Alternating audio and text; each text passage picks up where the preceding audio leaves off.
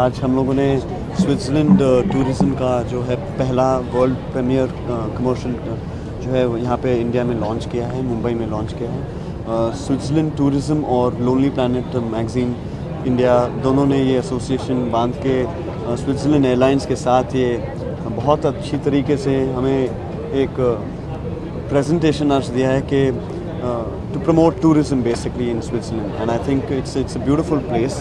I think uh, there's a lot of peace in Switzerland. Uh, there's there's a lot of tranquility out there.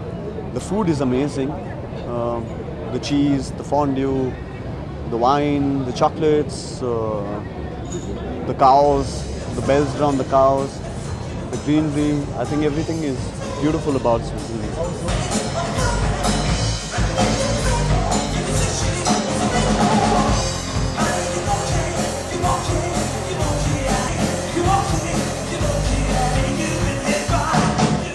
Basically Switzerland के Switzerland tourism का जो नया commercial था उसका उसका launch हो रहा था।